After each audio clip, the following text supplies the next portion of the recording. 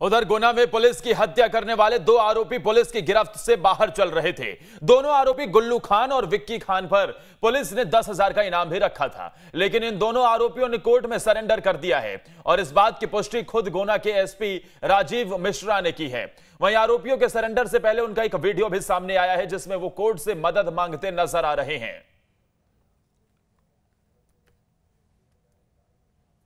आरोपी विक्की और गोलू द्वारा कोर्ट में सरेंडर किया गया है उनके घर में उनके रिश्तेदारियों में उनके शरणदाताओं के यहाँ लगातार दबिशें जारी थी।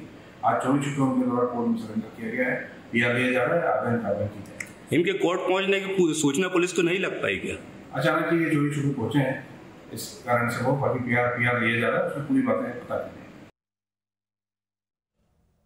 तो वहीं भोपाल नगर निगम अपर आयुक्त रेजू बाफना की बदसलूकी से परेशान नगर निगम के अधिकारी की तबीयत बिगड़ गई है, जिसके बाद निगम अधिकारी को आईसीयू में भर्ती कराया गया है। निगम अधिकारी शहीर अहमद सिद्दीकी जल कार्य में टेप असेसर के पद पर पदस्थ था।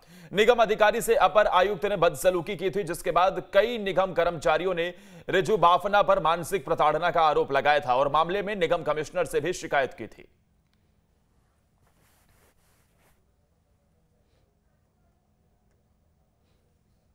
उधर कटनी में नागरिक आपूर्ति निगम के जिला प्रबंधक संजय सिंह को साठ हज़ार की रिश्वत लेते लोकायुक्त ने गिरफ़्तार किया है।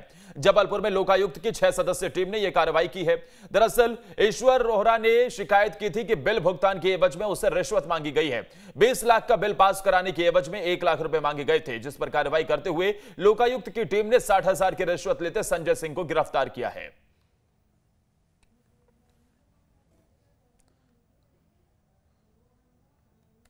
तो उधर सागर में उपभोक्ताओं को पोस्ट ऑफ़िस के कर्मचारी ने ठग लिया है। दरअसल लोगों ने पाई पाई बचाकर पैसे जमा किए थे, लेकिन आरोपी ने उन पैसों से आईपीएल में सट्टा लगाया और सारे पैसे उड़ा दिए।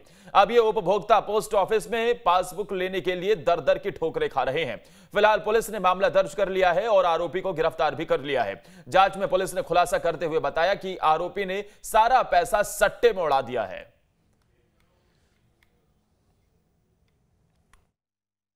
मैंने तो मेरे पत, जो मेरे हस्बैंड थे, मेरे एफ़ डी करा के गए थे तो मैंने जो अखबार में खबर सुनी तो देखा, मैंने यहाँ पे आके चेक करवाया तो फर्जी निकली, और उससे कल यहाँ पे आते हैं। तो उसने विशाल अहरबार ने मेरे साथ ऐसा धोखा किया है, मुझे खुद नहीं समझ में आ रहा तो मैं क्या करूँ?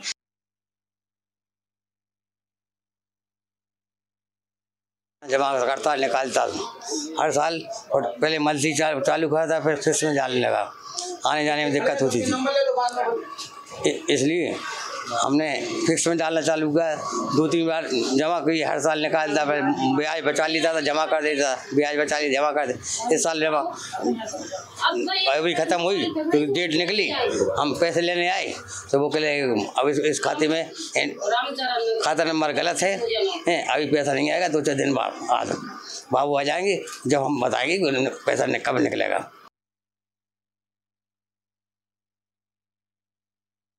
हमने अपनी बच्ची वहीं करे थे जमा। क्या पता चला है क्या हो गया? कब पता चला? पता नहीं है अभी कल फ़ोन आया था। वो आओ तो मोबाइल। मोबाइल पे बात भाई थी। क्या बताया? देखा था हमने मोबाइल पे क्या जे फर्जी है। क्या हुआ आपके साथ? पैसा का पता नहीं चल? रहा पैसा का पता नहीं चल रहा मैं और हमने कछु सुनाया हो रही। ये हमें एक संज्ञान में आया था, हमारे पास कई फरियादी आए हुए थे जिन्होंने अपना आवेदन दिया था कि हमारे साथ धोखाधड़ी हुई है। हमने जो मतलब पैसा जमा किया था पोस्ट ऑफ़िस में और फिर चेक कराया तो उन्हें पता चला कि उनका खाता उस पोस्ट ऑफ़िस में नहीं है और उन्होंने फिर नाम बताया कि हमने एक विशाल अहिरबार, जो हाउसिंग बोर्ड कॉलोनी बीना के हैं, इन्हें दिया था। तो अधिकतर जो हमारे पास फरियादी आए हैं, वो सभी का जो कनेक्शन था विशाल अहिरबार से था।